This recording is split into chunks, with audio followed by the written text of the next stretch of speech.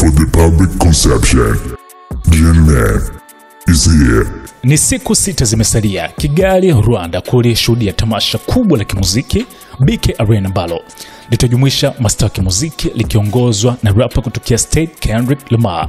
Ni Move Africa, tamasha ambalo ni ushirikiano wa makampuni mawili Global Citizen pamoja na kampuni ya kimuziki ya rapa Kendrick Lamar ya PG Lang na ni ushirikiano ambao wameamua kwa sasa kulitazama bara la Afrika upande wa masuala ya kiburudani, na kuwa tamasha hili litafanyika kwa mfululizo wa miaka mitano kuanzia mwaka huu 2023 mpaka mwaka 2028, na eneo la Rwanda ni sehemu ambayo litachukua nafasi katika mfululizo wa miaka hii, huku wakijumuisha mataifa mbalimbali, wasanii wa ndani na hata wasanii wa nje. Sasa hapo mwanzo ilithibitishwa kuwa Bruce Melon pamoja na Zuchu ndio wasanii wa mwanzo ambao walithibitishwa watakaomsindikiza Matahusu kwenye jukwaa moja na rapper Kendrick Lamar.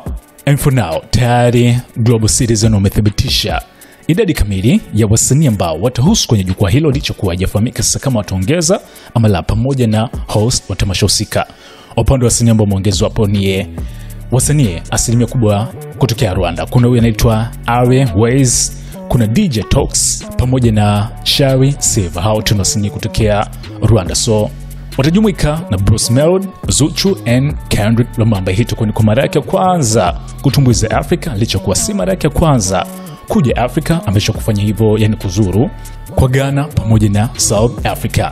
So ni Jumatano ya wiki inayofuatia Disemba 6, wasanii hawa watahusika pamoja kwa kutumbuiza kwenye tamasha la kihistoria kufanyika Afrika. SNS Attention! Your potential customers are watching this video. Don't miss out on the opportunity to reach them. Advertise your business alongside their favorite content and convert them into loyal customers. Contact us now at info at snstz.com or WhatsApp 0659250389 to amplify your brand to the SNS family.